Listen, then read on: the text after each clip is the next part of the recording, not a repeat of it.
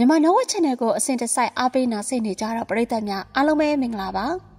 ကျမတို့ရဲ့ channel လေးကနေပြီးတော့ပရလောကနဲ့ဂမ်မီယာဇလာကောင်းလေးတွေကိုနေ့စီပြီးချက်တိဆက်ပေးနေပါတယ်ဒီကနေ့မှလည်းပရိသတ်များနားဆင်ရမယ့်ဇလန်းလေးကတော့စာရေးဆရာအက္ခစောရေးသားထားတဲ့ဖုတ်ဝင်သွားတဲ့တငယ်ချင်းအပိုင်းနှစ်စသိမ်းပိုင်းကိုပရိသတ်ကြီးနားဆင်ရမှာဖြစ်ပါတယ်ဒီရပိုင်းကျုပ်ချင်းငိမ့်နေတယ်ဗျမငိမ့်လို့လည်းမရဘူးလေဗျငါကြိုင်ကသိပြီးပြီမဲ့ သူ့လောင်းကဖုတ်ဝင်ပြီးဖုတ်ကောင်ကြီးဖြစ်နေတာမဟုတ်လားအရာဆိုဂရုံးဆိုတဲ့ကျုပ်ကရွာတဲ့ညနေတကောင်မကလို့ဘဲအချိန်မဲ့ဖြစ်ဖြစ်ထသွားရမှာမကြောက်ပေမဲ့အခုတော့ညနေဆောင်ပြီဆိုတာနဲ့အိမ်ထဲဝင်ပြီးရှိသမျှအိမ်တကားတွေအကုန်ပိတ်ပြီးနေတတ်တယ်အိမ်ကအဖွားတော်မှာကျုပ်ကိုနည်းနည်းထူးဆန်းနေသေးတယ်ငါမေ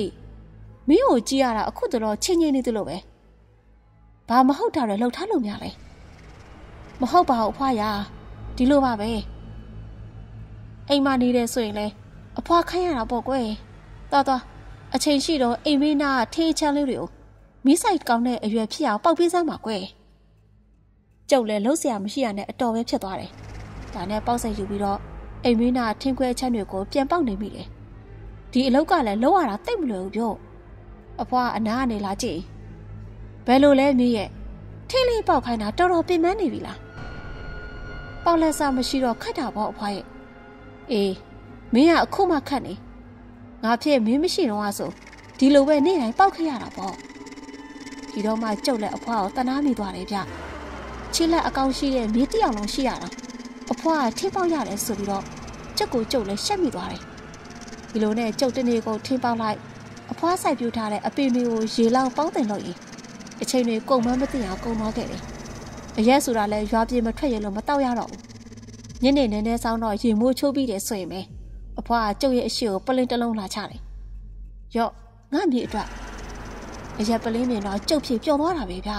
။အဖွားရှိတယ်ဟန်မဆောင်နိုင်တော့ပဲချက်ချင်းကောက်ပြီးမွှချလိုက်တယ်။အဖွားကတော့ကျုပ်ကိုပြုံးပြုံးလေးကြည့်ပြီးတော့တောင်းတလုံးဆွဲပြီးထွက်သွားတော့တာပဲ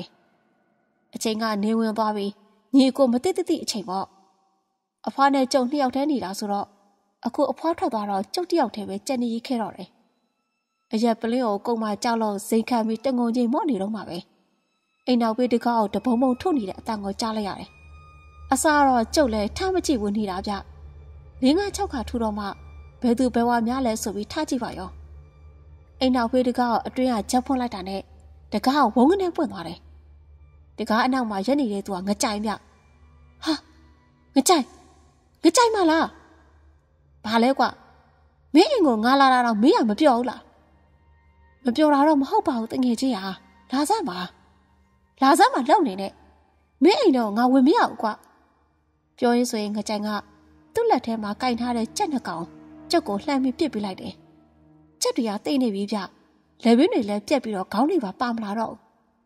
အဲ့ဒီနှကောင်ကိစမ်းကွာပြီးတော့မင်းတောက်နေတဲ့အရက်ပလေးယူလာခဲ့ဟာဒီဒီလိုလုံးလုံးဖြစ်မလားငကြိုင်ကကျုပ်ရဲ့အရှိကိုတိုးလာပြီးတော့မင်းလောက်မလားမလောက်ဘူးလား မင်းမလောက်ဘူးဆိုရင်မင်းကငါတက်ရလိုက်မယ်နော်ကျုပ်ဖြစ်ကြောက်လုံးလို့ဒူးတွေတုံနေမိတယ်ငကြိုက်ပါဇက်ထဲကနေလဲအပုတ်နှံတွေကထောင်းကနေထွက်လာတယ်ဒီကောက်ရုံကြည့်ရတာတကယ်လုံးမရုံဗျဒါနဲ့ကျုပ်လည်းကြက်တွေကိုယူပြီးအမွှေးနှုတ်ရပါအောင်ကျုပ်ကမိဖို့တဲ့ချက်ပြုတ်နေရအောင်အပြင်ကငကြိုင်ကစောင်းကြောင်ကြီးထိုင်ပြီးစောင့်နေတာဗျအချင်းကလည်းတဖြည်းဖြည်းမိုးချုပ်လာခဲ့ပြီတောရဘက်ကခြံတွေဆိုရလဲတဲ့ရိတ်ဝါးရစ်တွေနဲ့မို့လို့ပို့ပြီးမှောက်နေတာပေါ့ငကြိုင်တောက်ဖို့အတွက် ကျုပ်တောက်လက်စအရက်ပလင်းကိုပေးထားရသေးတယ်။ကျုပ်မှမတောက်ရက်ပဲတငုံချင်းငုံနေတယ်ဆိုပေမဲ့ဒီကောင်ကတော့ပလေးထောင်မို့တာဗျ။ဟဲ့ကောင်ကတော့မင်းကိနေတဲ့ကြက်ငါ့ကိုပေးစား။ကြက်ကမကြက်သေးဘူးကွာငါကြိုင်ရ။ဗျ။ပေးမှသာပေးစားမှာကွာ။ကျုပ်ကိနေတဲ့ကြက်တကောင်လှမ်းပေးလိုက်တယ်။ငါကြိုင်ကကြက်သားမကြက်တစ်ချက်ကြီးကိုသူ့ပါဇက်နဲ့ကိုက်ပြီးတော့ဝါနေတယ်ဗျ။ဝါနေတဲ့အတန်ကြီးကတကျွတ်ကျွတ်နေရဲ့ ငါ့အရက်ထပ်ပေးစမ်းကွာမလုပ်ပါနဲ့ကွာငါမှလည်းဒီတလုံးနဲ့ရှိတာပါကွာမလို့ကြည့်ဦးကွာငါမိုးရသေးဘူးမင်းအိမ်မှာမရှိတော့ငါ့ကိုသွားဝယ်ပေးငကြိုင်ကအတူတူနဲ့အနူနူချင်းကိုတင်စီပြီးပြောနေတော့ကြောက်စိတ်တဲဒေါသထောင်းကနေထွက်လာတယ်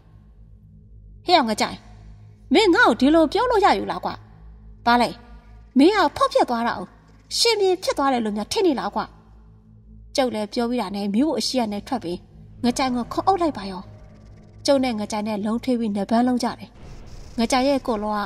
လူကိုလုံးနဲ့မတူပဲသူ့ရဲ့အသားတွေကရှုပ်မြေကြီးလို့မာချစ်ချင်နေဗျကျုပ်လည်းငကြိုက်ပေါ်တောက်ခွပြီးဒီကောက်မျက်နှာကိုလက်သီးနဲ့ပဲ့ပဲ့နဲ့နဲ့ထိုးတော့တာပဲဒီကောင်ကအပြုံးမပြတ်ဘူးဗျထိုးတဲ့ကျုပ်ပဲလက်တွေနာလာခဲ့တယ်ဒီခါဒီကောင်ကကျုပ်ကိုတွန်းချပြီးသူတလဲတက်လုံးတော့တာပဲသူ့ကိုယ်လုံးနဲ့အဖိခံရတဲ့ကျုပ်ကဆန်အိတ်လင်းကားအိတ်လောက်အဖိခံလိုက်ရတယ်လို့နာသွားခဲ့တယ် လှုပ်တော့မလှုပ်နိုင်ဘူးဒီကောင်ကကျုပ်ရင်ဘက်ပေါ်ခွာထိုင်ပြီးကျုပ်ရဲ့လက်ပင်ကိုသူ့ရဲ့လက်တွေနဲ့ညှက်ပါရောလက်တွေကလည်းတော်တော်တန့်နေဗျာကျုပ်ကဒီကောင်ကိုအော်ပြီးဆဲတယ်တဖြည်းဖြည်းနဲ့ကျုပ်အသက်ရှူကျက်လာပြီးတေတော့မလို့ဖြစ်လာတယ်ဒီတော့မှငကြိုင်ကကျုပ်ကိုလှုပ်ပေးလိုက်တယ်ကျုပ်မှအသက်ကိုမနဲ့လူးယူနေရတယ်ဗျငကြိုင်ကကျုပ်ပေါ်အုံမိုးကြည့်ဟေးကောင်ကတော့မင်းကငါတငယ်ချင်းအရင်မမတက်ပဲလှုပ်ပေးလိုက်တာကွာနောက်တစ်ခါဆိုရင်တော့မင်းကငါခွင့်မလုပ်ဘူး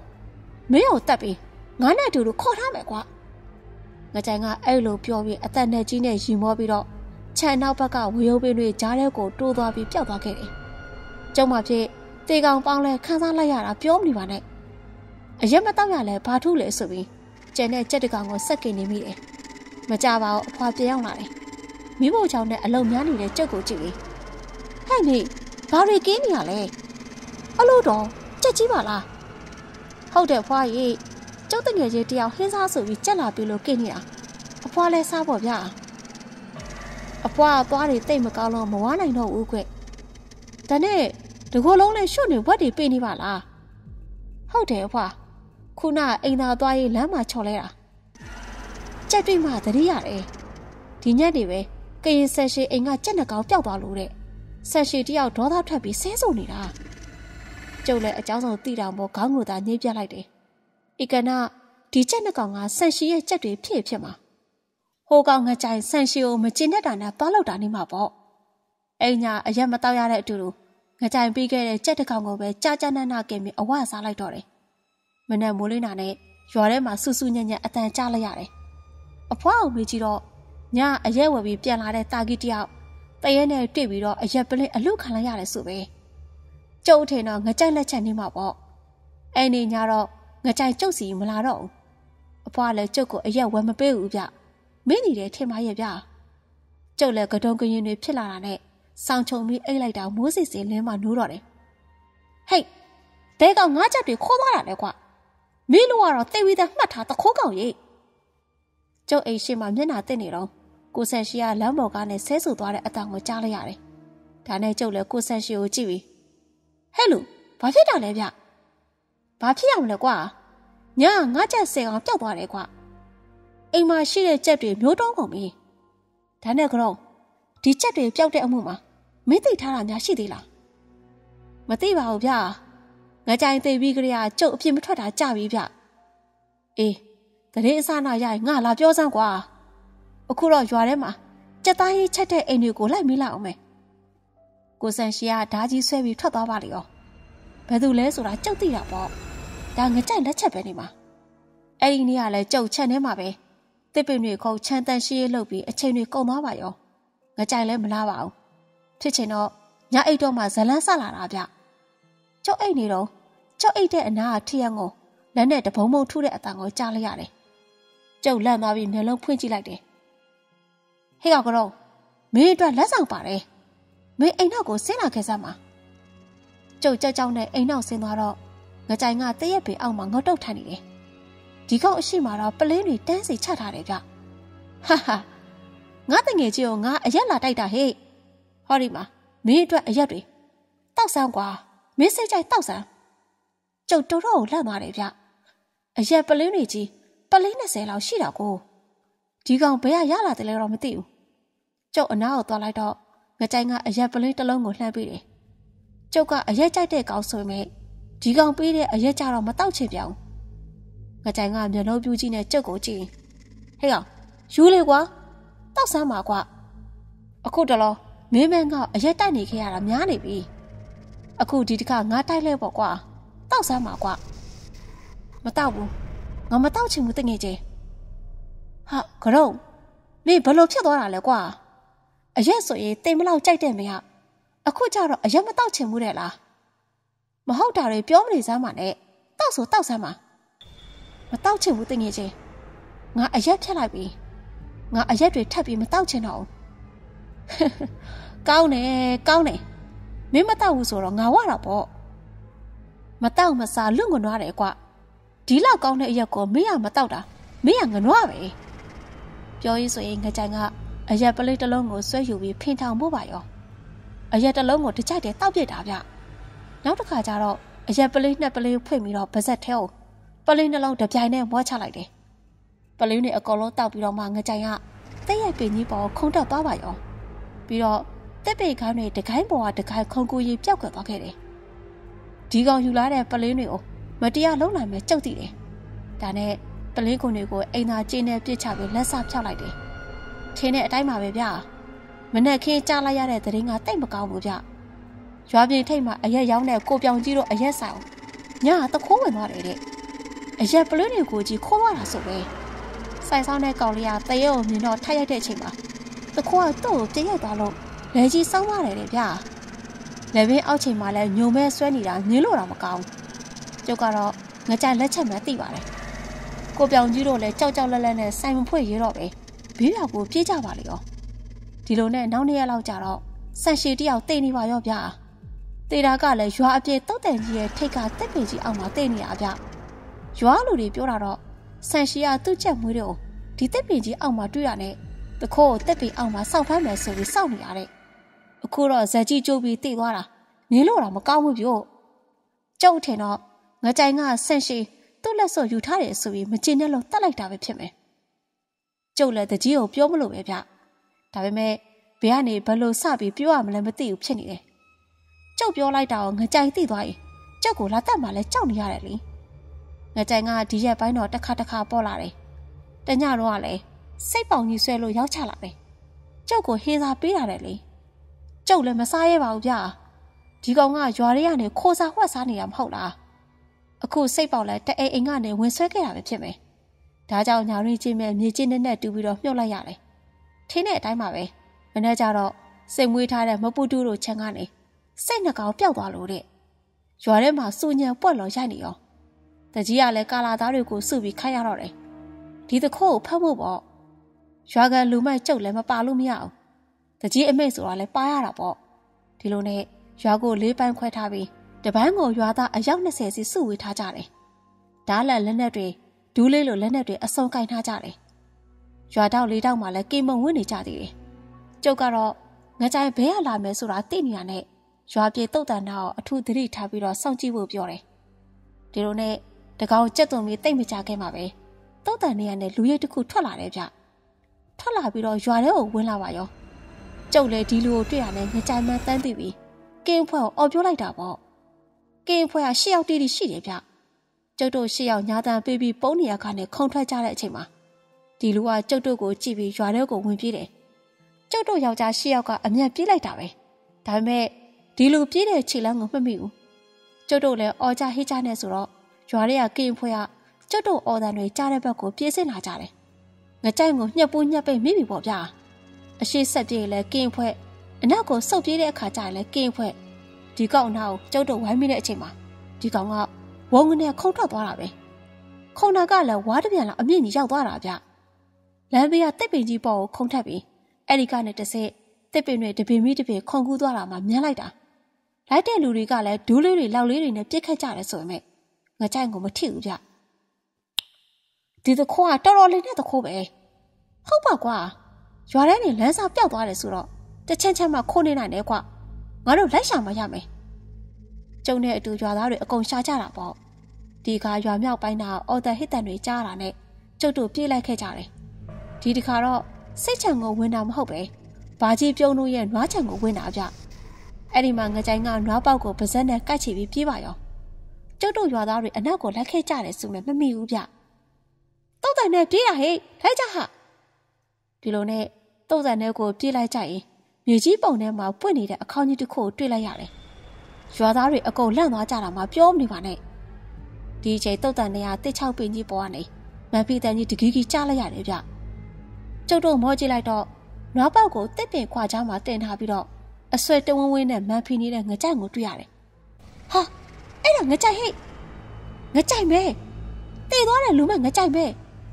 ငကြိုက်ဖုတ်ဝင်နေတာပဲဟိတ်ပြောရင်းဆိုရင်ငကြိုင်ကတစ်ပင်ကြီးပေါ်ကနေခုန်ချလာပါရောရွာလူတွေကဒူးလေးတွေနဲ့ပြစ်တယ်ဆိုပေမဲ့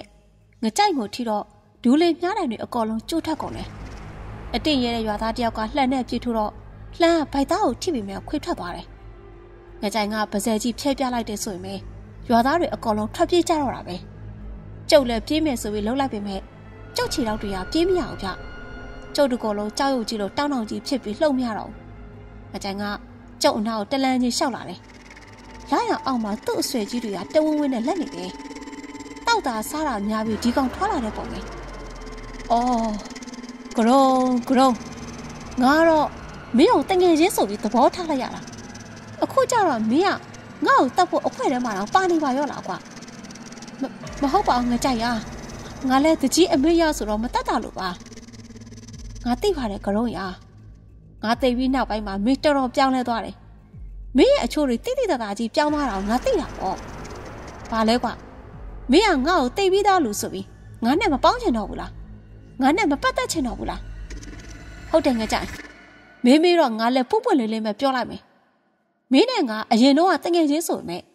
အခုတော့ဘဝချင်းမတူတော့ဘူးကွာမင်းကတရေကောင်ဖောက်ကောင်ဖြတ်သွားပြီငါကလူလေကွာ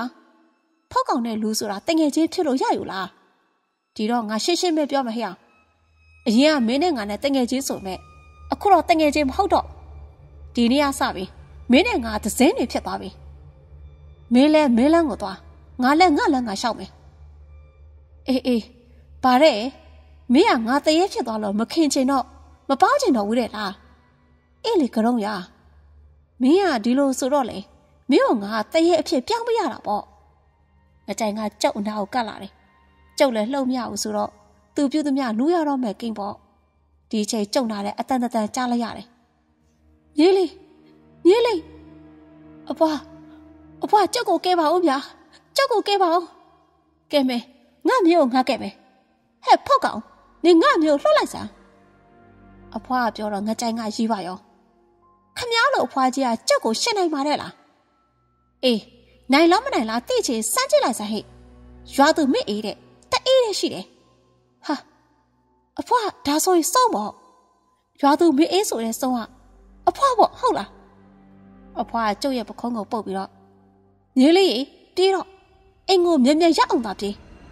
အိမ်မှာဆေးတွေချထားလို့ဒီအိမ်ထဲတော့ဝင်လာနိုင်မှာမဟုတ်ဘူးအဖွာကြောက်ပြီးတော့အဖွာဘယ်လိုလုပ်မလဲအဖွာအတွက်မပူစမ်းပါနဲ့အဖွာရဲ့ပညာနဲ့ဒီကောင်ထိန်းထားလိုက်မယ်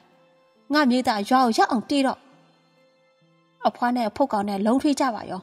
ကျုပ်လည်းအဖွားပြောတဲ့အတိုင်းရွာထဲကိုတကြိုးတည်းပြေးလာခဲ့တယ်။တညောင်တော့အဖွားပြန်မလာဘူးဗျာ။ကျုပ်အိမ်ထဲထိုင်ရင်ငိုနေရမှပြောမနေနဲ့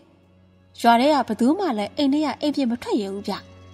မနဲ့မိုးလင်းလို့လူတွေစုပြီးတုတ်တန်စီထွက်ခဲ့တော့တုတ်တန်ထဲမှာဘာဆိုဘာမှမရှိဘူးမြေချင်းကြီးတွေကအခေါင်းကြီးလည်းမရှိတော့သလိုအဖွားကိုလည်းအဆနာတော့မတွေ့ရတော့ဘူးအဖွားနရွက်မှာဝတ်ထားတဲ့ငကက်လေးပဲကြက်နေခဲ့တယ်အဖွားကြီးအဖွားဒါကျုပ်ပါပါကျုပ်အမားပါအဖွားကျုပ်အော်ရင်မြေကြီးကိုလက်သီးနဲ့ထိုးနေမိတယ်ရွာသားတွေကတော့တယောက်တစ်ခွန်းပြောဆိုနေကြတယ် ဖောက်ကောင်ကလူသားစားဖို့ပြီးသွားပြီဟိဒီတိုင်းဆိုတိတ်မကြခင်မှာပဲလူတွေကိုလက်ပြီးဖမ်းစားတော့မယ်ဒီလိုနဲ့ရွာသားတွေလည်းဖုတ်ကောင်ကိုနှိမ်နှင်းနိုင်မဲ့လူကိုရှောက်ဖွေကြတယ်။ဦးဆိုင်လုံကြောက်ဆိုတဲ့ဆရာကြီးတယောက်ကိုသွားပင့်လာခဲ့ကြတယ်။ရှမ်းပြည်အတက်ရွာကလေးတယောက်မှနေတဲ့ရှက်ဆရာကြီးပါပြည်ရင်းချင်းပြင့်ကြတာဆိုတော့ညနေနေမစားခင်မှာပဲရှမ်းဆရာကြီးကရောက်လာခဲ့တယ်။ရွာလူတွေလည်းကြော်တော့ကြောက်နေကြပြီဗျ။အိမ်ထဲကအိမ်ပြင်တော်မထွက်ရဲကြအောင်။ ရှမ်းဆရာကြီးကတကြီးပြောပြတာကိုနားထောင်ပြီးတော့မင်းတို့ဖုတ်ကောင်ကလူစားပြီးသွားပြီဆိုတော့တော်တော်အဆင့်မြင့်နေလောက်ပြီ။နောက်၃လယောက်သာဆက်စားပြီးသွားရင်မြေရှို့မိုးပြတ်နိုင်တဲ့အထိဖြစ်သွားမယ်ကွာ။ဒါဖြင့်ဘယ်လိုလုပ်ကြမလဲဆရာကြီး။တက်တိကောင်းတဲ့ယောက်ျားလေး900လောက်ရှာပေးတဲ့ကြီး။ကျုပ်လည်းပါမယ်ဒီဖောက်ကောင်ကကျုပ်အဖွားကိုတတ်သွားခဲ့တာကျုပ်ဒီအတွက်လက်စားပြတ်ချင်မယ်ရှမ်းဆရာကြီးက သူ့လက်အိတ်ထဲကတစ်သားချောင်းအချွန်တွေကိုထုတ်လိုက်တယ်တစ်သားချောင်းတွေကအနက်ရောက်ဆိုပေမဲ့တစ်သားချောင်းတဲ့အချွန်တွေကတော့အနီးရောက်လေးဗျဒါတွေကဘာတွေလဲဆရာကြီးဖောက်ကောင်ဆိုတာတာမန်ဓာတ်လန်လက်နဲ့မတိုးဘူးကွာသူတို့တိုးတာဟော်ရီစို့တွေပဲဒီစို့တွေနဲ့ဖောက်ကောင်ရဲ့အသေးနှလုံးတဲ့တဲ့ကိုထိုးဆိုင်ရမယ်ဒီလိုထိုးဆိုင်တဲ့အခါဖောက်ကောင်ကငိမ့်ကျသွားလိမ့်မယ်ကွာနေကြသွားတဲ့အခါကျမှမတ်မုတ်ထားတဲ့ဓာမတ်နဲ့ဖောက်ကောင်ရဲ့ခတ်မငါးပြလို့ခေါ်တဲ့ ဦးကောင်လက်နှစ်ဖက်ခြေနှစ်ဖက်ကိုဖျက်ရမယ်။ပြီးရင်နေရာ6နေရာမှာခတ်မငါးပြနဲ့ကိုလုံးကိုတက်တက်စီခွဲပြီးမြုပ်ထားရမယ်။မြုပ်ထားတဲ့အချိန်တွင်းမှာလည်းဖောက်ကောင်ကမသေးသေးဘူးနော်။တကယ်လို့ဒီအပိုင်းတွေအတူတူပြန်ထားလိုက်တဲ့ဆိုရင်သူ့လိုလိုပြန်ဆက်နိုင်တယ်ကွာ။6လကြာအောင်တနေရာစီခွဲထားနိုင်တော့မှဖောက်ကောင်ကသေသွားမှာ။ဒါဆိုရင်အဲ့ဒီကောင်ကိုဘယ်လိုတတ်မှလဲဗျာ။အရင်ဆုံးဖောက်ကောင်ဘယ်ကိုပြေးသွားတယ်လဲဆိုတာစောင့်ကြည့်ကြတာပေါ့။ ရမ်းစရာကြီးကတုတ်တန်ကိုသွားခြင်းနဲ့လို့ပြောတာနဲ့ကျုပ်တို့တွေအတူတူလိုက်ခဲ့ကြတယ်။ညမောင်နေပြီဆိုတော့မိတို့တွေကိုလည်းအသိပြင်ထားကြရတယ်။တုတ်တန်ရောက်တော့ငကြိုင်ကိုမြုပ်ထားတဲ့မြေချင်းကြီးတွေကိုကြည့်ပြီးရှမ်းစရာကြီးကစက်ကူလေးတွေဖြဲပြီးချတယ်။နောက်တော့အမွှေးလာတဲ့တိုင်းကိုသူ့ရဲ့လက်မှာထုံးပြီးတော့တုတ်ကနေလဲရှမ်းလိုတွေမုံပုတ်နေပါရော။ဟောဒီအမွှေးတိုင်ကထွက်တဲ့အမွှေးရဲ့အနက်ကိုလိုက်ရမယ်။ဒီလိုနဲ့မိโกငွေတွေအတိုင်းရှမ်းစရာကြီးကလိုက်တော့ ကျုပ်တို့အတူတူအနောက်ကနေလိုက်ခဲ့ကြတယ်။ရှမ်းစရာကြီးကသွားနေရင်ရွာအပြေရာကင်းတွေကိုဖြတ်ခဲ့တယ်။နောက်တော့တော်တန်းလေးတစ်ခုတည်းကိုရောက်ခဲ့ပါရော။အမွှေးတိုင်အငွေတွေကအဲ့ဒီနေရာမှာရွဝဲနေကြတယ်။ဖုတ်ကောင်ကဒီနေရာတဝိုက်မှာအတိုက်ဖွဲ့ထားတဲ့ထဲမှာဒီကောင်ရှာကြမဟိဒီလိုနဲ့တော်တန်းလေးတဲ့ကိုလိုက်ရှာလဲဆိုရင်မတွေ့ဘူးဗျရှာရင်ဖွေရင်ညလေလာရောက်လာတယ်ရှာတဲ့လူလည်းတော်တော်မောပန်းနေကြပြီရှမ်းဆရာကြီးကကျုပ်တို့ကိုပြန်ခေါ်ပြီးတော့ ရာခင်းအလယ်မှာမီးပုံကြီးတစ်ခုပို့ခိုင်းတယ်မီးမြများထည့်ထားတဲ့မီးပုံကြီးပေါ့ပြီးတော့ကျုပ်တို့9ယောက်ရှမ်းဆရာကြီးနဲ့ဆိုရင်စုစုပေါင်း6ယောက်မီးပုံတစ်ဘေးမှာခက်ကြဲကြဲထားလိုက်ကြတယ်ထိုင်နာကလည်းမီးပုံကိုမျက်နှာချင်းဆိုင်မဟုတ်ပဲကြော်ပေထိုင်ကြရတာဗျမင်းတို့စိုးနဲ့သာစိုက်ဖို့လို့ဒီကောင်ကိုတွေ့ရနဲ့စိုးနဲ့သာထိုးပြီးတော့ငါဖုတ်ကောင်ကိုမနှံဆုပ်ပြီးခေါ်မယ်ကွာရှမ်းဆရာကြီးကရွတ်ပါရောရွတ်ရင်ခဏကြာတဲ့အခါတော်တဲ့နေ့ကလူကြီးတယောက်ထွက်လာတယ်တ လန်ချင်းလှမ်းလာပြီးတော့ကျုပ်တို့မျိုးပုံစီကိုလာပါရောလာတဲ့လူကတော့ငကြိုက်မှငကြိုက်အစဲပြရှမ်းဆရာကြီးကကျုပ်တို့ကိုမှတ်လောက်ခိုင်းဦးသူ့အနာရောက်လာတော့မှချီမန်းခွေးတစ်ခုနဲ့လှမ်းပြီးပြစ်ထက်လိုက်တယ်ချီမန်းခွေးကငကြိုက်ဒူးနောက်ကိုပတ်မိပြီးငကြိုက်ရက်သွားတယ်ဒီအခါမှာဆရာကြီးကကျုပ်တို့ကိုပြေးထိုးခိုင်းပါရောဟဲ့အောင်လေဒီအချိန်ပြေးထိုးကြလေကွာရွာသားတွေလည်းကုန်းထပြီးတော့စွတ်တွေနဲ့ပြေးဝင်သွားကြတယ်ဒါပေမဲ့ခတ်တာငကြိုင်ကချေးရောက်ပဲလှုပ်မြတာကြ လက်ကလှုပ်ရနေတော့သူ့စီပြေးဝင်လာတဲ့လူတွေကိုလက်နဲ့ပုတ်ထုတ်တယ်လက်နဲ့ထရနဲ့ဖြောင်းတဲ့အတန့်မြည်ပြီးရွာသားတွေနှွတ်ထွက်သွားခဲ့ကြတယ်နောက်ဆုံးတော့ကြောက်လက်ပဲကျုပ်လက်လက်ထဲမှာစို့တန်ကိုကြစ်ကြစ်ပအောင်ကင်ငကြိုက်စီကိုပြေးသွားလိုက်တယ်ပေပြီးတော့ငါအဖေါ်တတ်တဲ့ကောင်တိတ်စားဒါပေမဲ့ငကြိုင်ရဲ့လက်ကမြန်းတယ်ဗျကျုပ်ရဲ့ဇဘိုးကိုရိုက်မိပြီးတော့ကျုပ်ဘေးကိုနှွတ်ထွက်သွားခဲ့တယ်ခဏကြာတဲ့အခါမှာငကြိုင်က ခြေထောက်ကိုယုံပြီးချီမန်းခွင်းကိုဆက်ဖြုတ်လိုက်ပါရောပြီးတော့ဓာမန်ကင်ပြီးရက်နေတဲ့ရှမ်းဆရာကြီးကိုခွန်အုပ်ပြီးဝလုံးတယ်ရှမ်းဆရာကြီးနဲ့ငကြိုင်လုံးထွင်းနေရှမ်းဆရာကြီးကအချင်းနေမဟန်တော့ဘူးကျုပ်လည်းစို့တန်ကင်ပြီးထိုးဖို့ပြင်နေမိတယ်သူတို့နှစ်ယောက်ကဘားတပြန်ကြားတပြန်လုံးနေရဆိုတော့ကျုပ်လည်းအထိုးကခတ်တာပေါ့တခါတော့ငကြိုင်ကရှမ်းဆရာကြီးရဲ့ရင်မက်ပေါ်တက်ထိုင်ပြီးဆရာကြီးရဲ့လက်မျိုးကိုညှက်ပါရောဒီအခါကျုပ်လည်းငကြိုင်ရဲ့အနောက်ကိုပြိုးဝင်ပြီးလက်ထက်ရစို့တန်ကို ငကြိုင်ရဲ့နောက်ကျောအလဲတဲ့တဲ့ကိုထိုးဆိုင်ချလိုက်တယ်ငကြိုင်ကအသက်နဲ့ကြီးနဲ့အော်ဟစ်ပြီးတော့လက်တွေခြေတွေတုံရင်လာတယ်ဟေးဟောကလုံးငါတော့တငယ်ချင်းဆိုပြီးခင်လိုက်ရတာအခုတော့မင်းကငါနောက်ကျောကိုဓာတ်နဲ့ထိုးတယ်ပေါ့ဟုတ်သလားဟုတ်တယ်ဒါပေမဲ့ငါထိုးတာဓာတ်မဟုတ်ဘူးစော့ကွာစွနဲ့ထိုးတာကျုပ်လည်းမြေပေါ်ကျနေတဲ့ရှမ်းစရာကြီးရဲ့ဓာမန်ကိုကောက်ပြီးမတက်ရက်လိုက်တယ် ဓာတ်ကိုအားနဲ့လွှဲပြီးတော့ငကြိုင်ရဲ့ဇဘိုးကိုခုတ်ချလိုက်ရောငကြိုင်ရဲ့ခေါင်းကပြတ်ထွက်ပြီးဘောလုံးကြီးတစ်လုံးလုံးတပုတ်ပုတ်နဲ့လှိမ့်သွားတယ်ရှမ်းစရာကြီးကမတက်ထပြီးအကောင်ဖြတ်ဒီကောင်ရဲ့ခမငါးပြောင်အကောင်ဖြတ်စမ်းကွာဆရာကြီးပြောတဲ့အတိုင်းကျုပ်လည်းငကြိုင်ရဲ့ခြေတွေလက်တွေကိုခုတ်ဖြတ်ရပါလိမ့်ရောညာရင်းချင်းမဲ့ဒီကောင်ရဲ့အစိတ်ပါးနေကိုရွာလေးတောက်မှမြုပ်ခေါင်းကိုတော့တုတ်တာမှာကိုလုံးကိုတော့ရွာပြေတားလက်နှစ်ဘေးမှာမြုပ်လိုက်ရတယ်။ဖုတ်ကောင်သိပြီဆိုတော့ ရှမ်းဆရာကြီးကိုရွာလူတွေကလက်ဆောင်တွေဘာတွေပေးကြတယ်။ကျုပ်ဆိုရင်ဆရာကြီးကိုတော်တော်ကြည်ညိုသွားတာ။ဆရာကြီးကနေ့လယ်လောက်မှပဲရွာကပြန်မို့လုပ်တယ်။ကျုပ်ကဆရာကြီးကိုပြန်ဖို့ဖို့အတွက်လိုက်လာခဲ့မိတယ်။ဆရာကြီးကျုပ်ကအခုချိန်မှာတကောင်ကျွတ်ဖြစ်သွားခဲ့ပြီ။ဒါကြောင့်ဆရာကြီးရဲ့အနောက်ကိုလိုက်ပြစေ။ဆရာကြီးရဲ့လုပ်ငန်းတွေမှာကိုညီလောက်ကန်ပေးပြစေဆရာကြီး။ဆရာကြီးကျုပ်ကိုတပည့်သားရင်တယောက်လိုသဘောထားနိုင်ပါလေ။အေးလေ မင်းပုံကြည့်ရတာအောက်ကိုရမဲ့ပုံပဲ။ညလည်းမင်းသာဒီကောင်ကြောကိုစုံနဲ့ဝင်မထွက်ရင်ခုမနဲ့ဆိုငါအတုပဖြစ်နေလောက်ပြီကွာမင်းတကယ်ပြောတာတော့ကတော့တကယ်ပါဆရာကြီးရေငါရှောက်နေတဲ့လမ်းကခက်ခဲကြမ်းတမ်းနေတခါတခါလဲအသက်ဘေးနဲ့ရင်ဆိုင်တွေ့ရတတ်တယ်ကွာမင်းလာရဲမှလာရဲတယ်လို့ပြောနော်ကျုပ်လူမိုက်ပါဗျကျုပ်ကဆုံးဖြတ်ချက်ချပြီးပြီဆိုရင်ရေစိုးမြေစိုးလောကမှာကျင်းတတ်တဲ့လူမျိုးပါကောင်းပြီ ဒါဖြစ်လေယူစရာရှိတာယူပြီးလှဲပေါ်တက်လိုက်ခဲ့စမ်းပါကွာကျုပ်မှဘာအနာဖွဲမှမရှိတော့ဘူးကျုပ်ဘာမှမယူပဲအခုပဲလိုက်ခဲ့တော့မယ်ဆရာကြီးကျုပ်လည်းပြောဆိုပြီးတော့ဆရာကြီးရဲ့လှဲပေါ်ကိုတက်လိုက်လာခဲ့တယ်အဲ့ဒီအချိန်ကစပြီးကျုပ်လူမိုက်အဖြစ်ကနေရာသက်ပံကျွတ်လွတ်သွားခဲ့တော့တာပါပဲရန်ဆရာကြီးနဲ့လိုက်ပြီးတော့အတူတူတမတ်ထတွေလို့လူသားတွေကိုကက်တင်နဲ့တက်တက်လောကောင်းမှုတွေပဲလုပ်ပြီးနေထိုင်သွားခဲ့တယ်အရင်ကကျုပ်အဖွားကိုတက်ခဲ့လို့ တငယ်ချင်းငကြိုင်ကိုစိတ်နာတယ်ဆိုပေမဲ့အခုပြန်တွေးကြည့်တော့တငယ်ချင်းငကြိုင်သာတေပြီးဖောက်မွေခဲ့ကျုပ်အရင်လိုပဲရွာမှာလူမဆက်ဖြစ်နေအောင်ပဲထင်ပါတယ်အခုလိုလူကောင်းသူကောင်းဖြစ်ဖို့ကတငယ်ချင်းငကြိုင်ရဲ့ကျေးဇူးတွေအများကြီးပါတာကြောင့်မလို့နောက်ပိုင်းကျုပ်ငကြိုင်ကိုသတိရတိုင်းဒီကောင်ကောင်းရမွေရရောက်ပါစေဆိုပြီးတော့ဆူတောက်ပေးနေမိတော့တယ်ဗျာပရိသတ်များရှင်ဖုံဝင်သွားတဲ့တငယ်ချင်းဇလန်းလေးကတော့ဒီလောက်ပါပဲနော်နားဆင်အားပေးခဲ့ကြတဲ့ပရိသတ်တွေတူးချင်းစီကို ကျေးဇူးထူးပဲတည်ရှိသလိုစာရေးဆရာအကစောလည်းကျေးဇူးထူးပဲတည်ရှိပါတယ်ရှင့်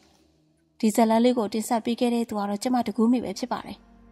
ပရိသတ်များအားလုံးပဲကံကောင်းခြင်းပျော်ရွှင်ခြင်းကျမ်းမာခြင်းတွေကိုအစိမ်ထာဝရပတ်ဆိုင်နိုင်ကြပါစေရှင်